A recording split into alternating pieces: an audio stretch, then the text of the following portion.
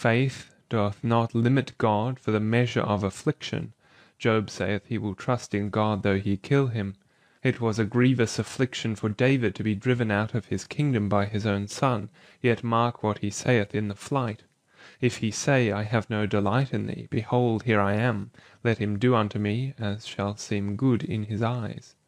The second action of faith is to make us believe the promises of God when we feel the contrary, and in one contrary to believe another. When we feel our own sins it makes us believe our justification; when we feel our wretchedness and misery it makes us believe our happiness; when we feel nothing but death it makes us believe our eternal salvation; when we apprehend God's anger and feel him to be our enemy, it makes us to apprehend his mercy and to believe his fatherly kindness. When Christ was forsaken of God, he even then by his faith believes God to be his God.